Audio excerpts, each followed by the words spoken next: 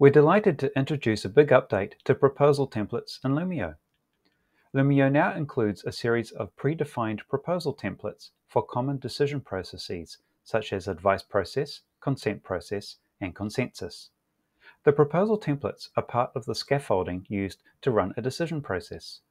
You can edit the templates to suit your particular needs, create new templates, or remove and rearrange templates to customize the experience for your organization.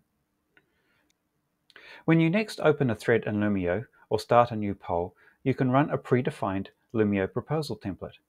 If you're unsure which decision process to use, start with SenseCheck. It's an easy way to float a proposal, invite feedback, questions, and concerns. SenseCheck can also be used in the consent process and to test for consensus. You will find more proposal and poll templates under the tabs. Under Poll, Simple Poll, Score Poll, Dot Vote, and Ranked Choice. Under Meeting, we've grouped time poll and opt-in. And under settings, there are some more predefined templates, the classic Loomio proposal, and some new templates for gradients of agreement and question round.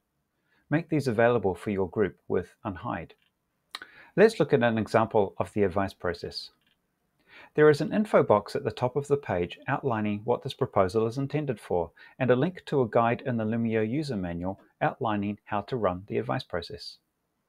The proposal template includes some text prompts to help you write a great proposal, for example, a clear title, tag, and proposal details.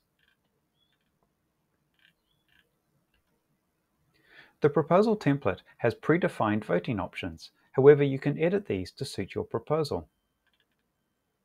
As usual, you can set the closing date for the proposal to give some time for people to respond. See Advanced Settings if you want to change settings like anonymous voting and start the poll. People invited to offer advice can vote and then write their comment. Results are available as people participate. See our guides for advice process, consent process, and consensus for help and examples of using the templates at key stages of each process. Let us know how you get on and get in touch if you have any questions. Thank you.